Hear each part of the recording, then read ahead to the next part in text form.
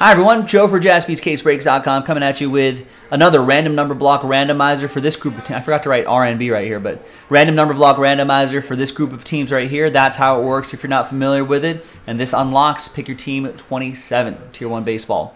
Now, big thanks to this group right here for making it happen. Appreciate it.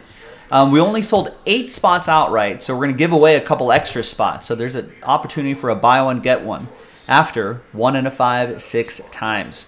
Good luck. One, two, three, four, five, and sixth and final time.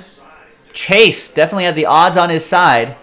He actually finished off the break. He was like, screw it, I'll get the last three spots. He bought one and then he got another three.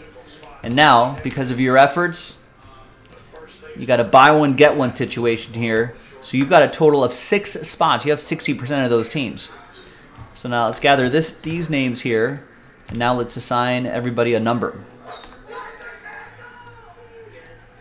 Let's roll it, randomize it, two and a six, eight times this time for names and numbers. One, two, three, four, five, six, seven, and once more, six a two, right? Eighth and final time. There we go. We got Rick down to Raymond. Two and a six. Eight times for the numbers. One, two, three, four, five, six, seven, and once more, eighth and final time, and that's going to be two down to four.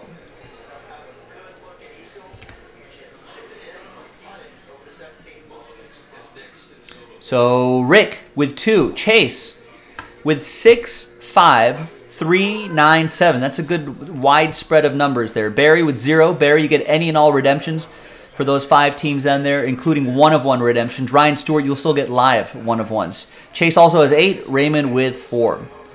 Let's order these numerically.